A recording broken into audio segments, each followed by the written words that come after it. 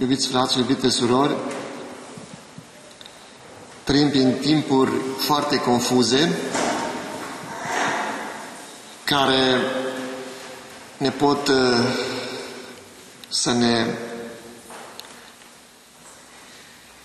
facă să ne să ne, uh, să ne, să ne să ajungem să nu mai avem credință, o credință, credință statornică.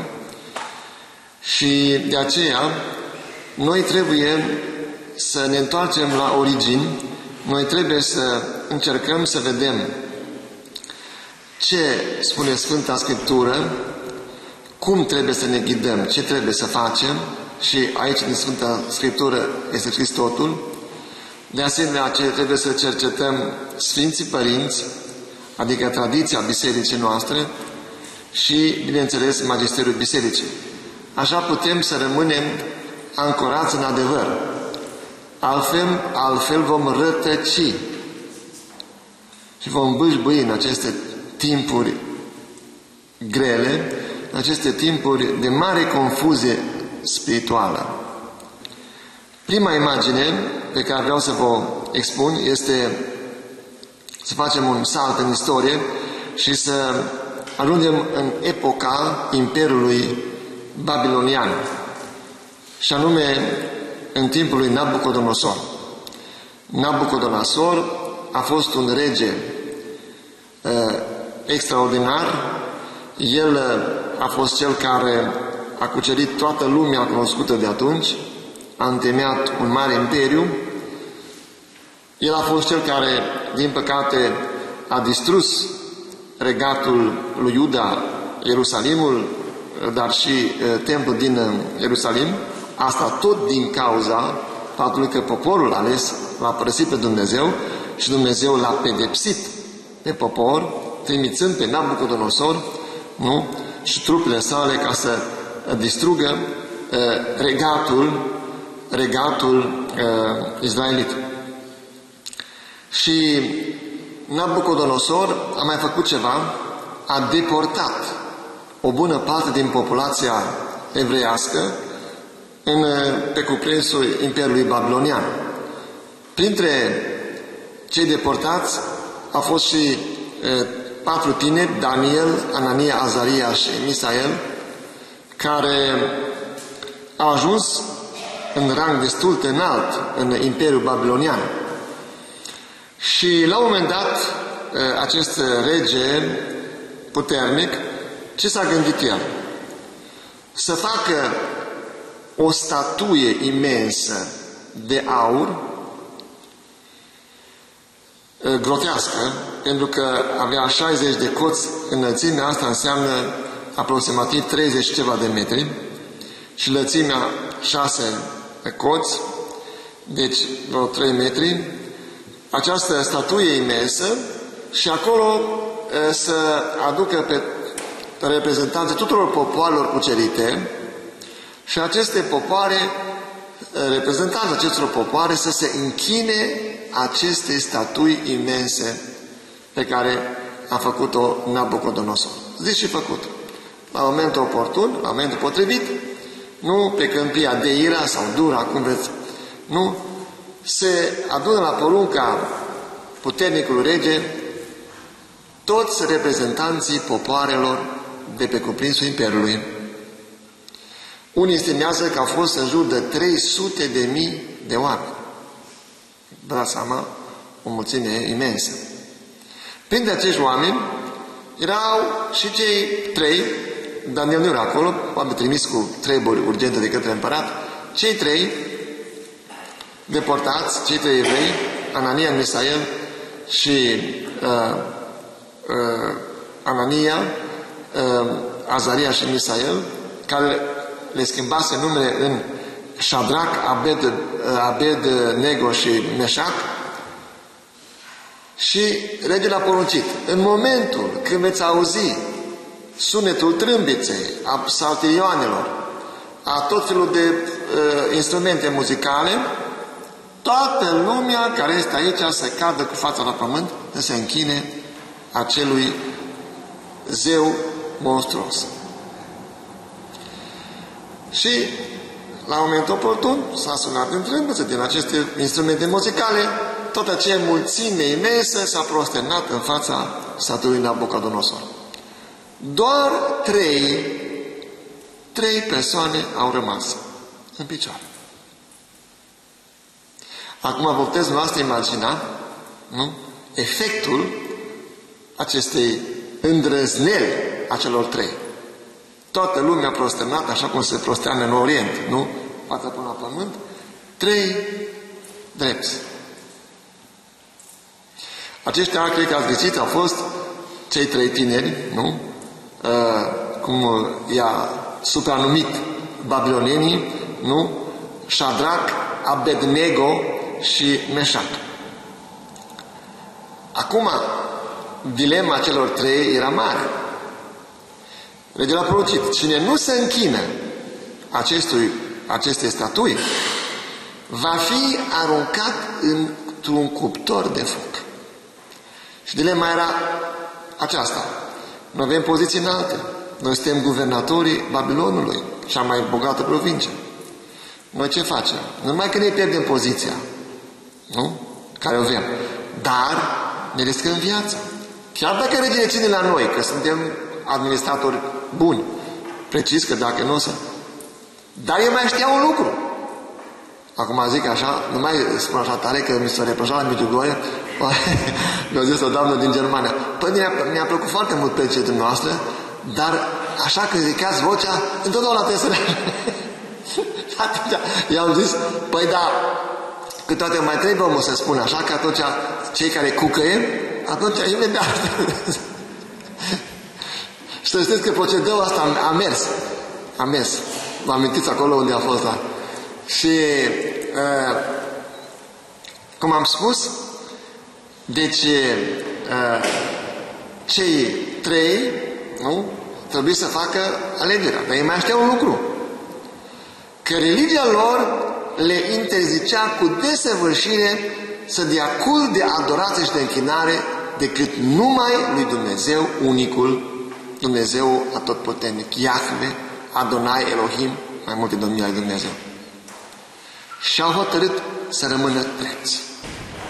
Furia regelui a fost cumplită. Nu? Încă o dată a chemat, a spus, aveți grijă, încă o dată vă spun, le-am dat, le dat o șansă. Dacă cumva nu vă prosternați când sună psaltirea, trâmbițele, psaltirioanele, o să vă arunc în cuptorul de foc și care Dumnezeu va fi acela care să vă salveze pe voi din cuptorul de foc. Și acum, ce mi-a plăcut mie extraordinar a fost răspunsul acestor, uh, acestor uh, trei tineri, care pe mine, întotdeauna când îl citesc, mă cutremură. Din Daniel, capitolul 3, versetul 16. Răspuns au Shadrach, Meșac și Abednego și au zis regelui, O rege Nabucodonosor, noi nu avem nevoie ca la aceasta să-ți dăm un răspuns. Dacă într-adevăr Dumnezeul nostru căruia îi slujim poate să ne scape, El ne va scăpa din cuptorul cel cu foc arzător și din mâna ta, o rege. Și chiar dacă nu ne va scăpa, știut să fie de tine o rege, că noi nu vom sluji Dumnezeilor tăi și înaintea chipului de aur pe care tu l-ai așezat, nu vom cădea la pământ. Frumos răspuns. Trei tineri, nu? Care au spus nu. Uh, acum, știi, știi ce s-a întâmplat? El s-a înfuriat peste măsură, nu? I-a luat pe cei trei, i-a legat și a poruncit ca acel cuptor nu să fie încălzit de șapte ore mai, mai mult decât trebuie. Nu? Și când le-au dus acolo să arunce în cuptorul acela, slujitorii care îi duceau au fost mistuiți de flăcă. Și ei au fost aruncați în fundul cuptorului. Acum știți istoria, nu? Mănuiesc, că Dumnezeu a făcut ca focul să nu-i atingă pe, acei, pe cei trei. Și regele, după câtva timp, probabil că a avut o, undeva unde să se poată uita, a văzut că cei trei nu se mistuie. Și că lângă cei trei mai e unul. Și de tremurând, se duce și întreabă pe slujitori. Oare n-am aruncat noi trei bărbați legați în mijlocul cuptorului cu foc arzător? Slujitorii au zis, cu adevărat așa este o rege. Și începând din nou agărei a zis, iată eu văd patru bărbați dezlegați, umblând prin mijlocul cuptorului, nevătămați, iar chipul celui, cea, celul de al patrulea, ca fața unuia dintre fiii zeilor. Și Nabucodonosor merge la cuptor și îi strigă pe nume și îi scoate afară. Toată lumea o constat că nici măcar, spune Sfânta Scriptură, nici măcar nu miroseau a fum, a foc. Și Nabucodonosor îi cunoaște puternicia Dumnezeului cel adevărat. Adică vreau să spun că e o categorie numeroasă, o categorie foarte numeroasă de creștini, așa zis, neutri. De nicio parte. Nici pentru, nici împotriva. Și justifică atitudinea lor prin circumstanțe, afaceri, prieteni, familie. Dar Dumnezeu urăște neutralitatea. Și am să vă explic de ce. Ce părere ai de un fiu care e neutru față de interesele mamei sale sau ale tatălui său? Ce părere despre un soldat neutru față de interesele țării sale?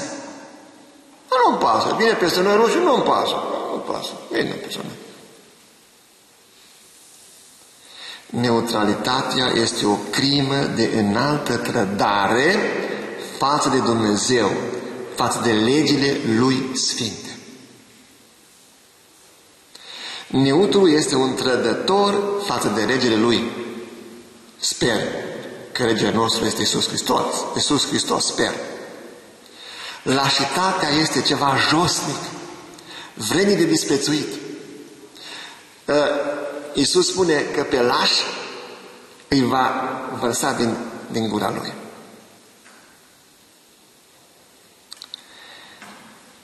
Neutrul este un profund, profund nerecunoscător. Ce s-ar întâmpla, dragii mei, dacă Dumnezeu ar fi neutru față de noi? Ce va întâmpla dacă Dumnezeu ar ridica mâna de pe noi?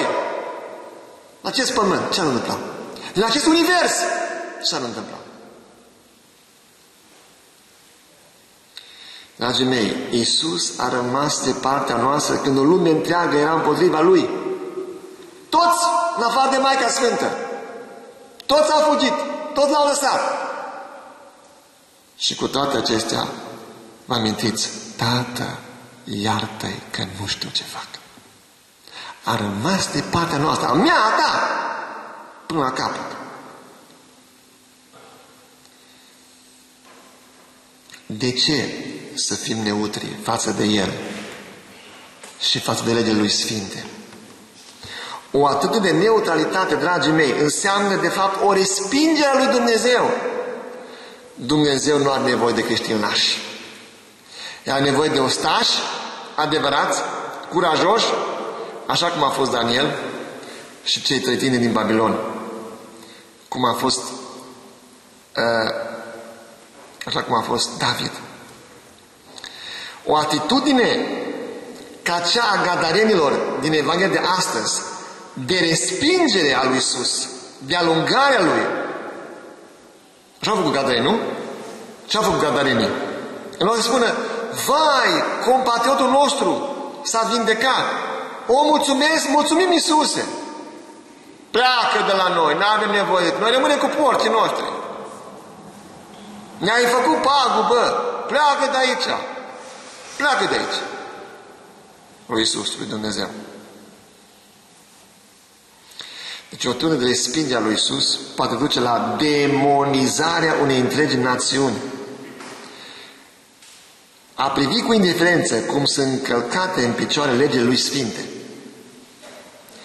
A nu-ți păsa că guvernul tău impune legi contra legii lui Dumnezeu înseamnă a alunga pe El, pe Iisus din viața ta, din orașul tău, din țara ta, așa cum au făcut gadarenii.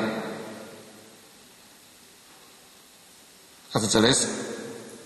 Nu mai e timp să stăm neutri, dragii mei. Nu mai e timp. Credeți-mă, dragii mei. Credeți-mă, nu vreau să vă înspăimânt, nu vreau să fiu apocaliptic. Cei care mă știu știți că sunt foarte optimist, pot să confirme. Nu sunt, dar eu sunt realist. Nu mai avem timp, dragii mei. Nu. Timpul este însă scurgere. Noi trebuie să aluăm atitudine foarte clară, tranșantă, de partea cu ești. De partea cu ești. De partea lui Isus și a legii lui Sfinte, care este călcată în picioare, în ultimul hal, de la un capăt la altul al Oceanului Atlantic, sau de partea celor, celor fără Dumnezeu, de partea nabucodonosorilor moderni, nu? Care vor, nu? Să ce? Să se pună împotriva lui Dumnezeu, împotriva legii lui Sfinte, care vor să ne impună nouă, nu? Legi care jignesc profund pe Dumnezeu. Ești aici, dragii mei, ca să alegi. Ești aici ca să alegi. Încă o dată spun, o să vă amintiți de predicile mele. Nu peste mult timp. Ascultați-mă ce vă spun. Trebuie să fiți aici să alegeți de partea cu ești. De partea lui Nabucodonosor modern, Nabucodonosorilor modern, sau de partea lui Hristos. Rămâi în tabla celor puțini, din care fac, care au făcut Anania, Anania, Azareel, David, sau e de partea celor mulți, mulți neutri. Neutri. Păi, dacă e lege ca să avortăm, păi avortăm. Nu? Păi avortăm. Omorâm copii. Păi dacă legea cuplurilor homosexuale, apoi mai bine și așa cu homosexuale. E bine și așa cu homosexuale. E bine. E bine, așa E bine? E bine. Cum să nu fie bine? Păi cum? Că Irlanda a spus că e bine, America a spus că e bine, ă, Belgia a spus că e bine, Olanda, țări civilizate. Popoare întregi au spus, e bine așa. Nu? Deci, de partea celor 30 de mii care s-au prosternat, sau de partea celor trei care au stat în picioare. Orice mi s-ar întâmpla, stau pentru tine, Doamne. Orice mi s-ar întâmpla. Chiar dacă nu mă salvez, chiar dacă mi se taie capul, dacă mă duc în închisoare, chiar dacă eu stau cu tine, Doamne. Sunteți aici, dragii mei, ca să decideți. Ne legăm în picioare? Că în picioare. Și facem o rugăciune pentru ca Domnul să ne dea acest curaj. În aceste